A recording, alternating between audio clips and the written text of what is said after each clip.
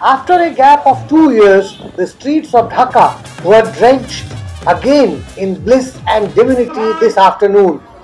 Thousands of people gathered near the historic Dhakeshwari temple to bring out a colorful Janmashtami procession.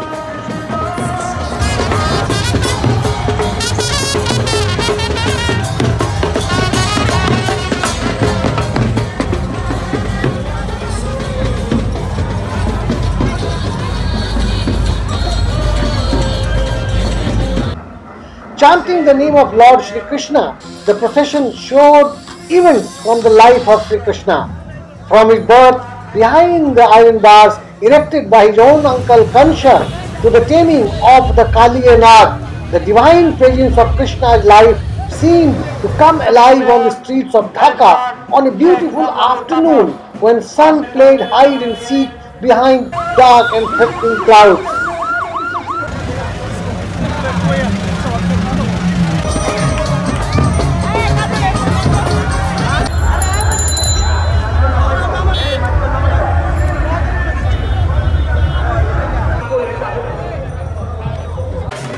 While the Janmashtami is the religious festival of Hindus, people from all communities and religions take part in it and enjoy the divine festivity. Strict security arrangements were in place to ensure that the event passed off smoothly.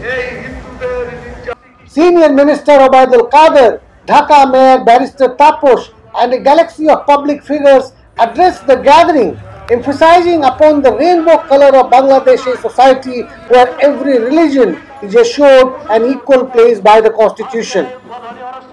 The pious celebration of Krishnastami festival in Dhaka created an atmosphere of hope and amity that resounded with Lord Krishna's ideal of peace and justice created by the sweet music of his flute.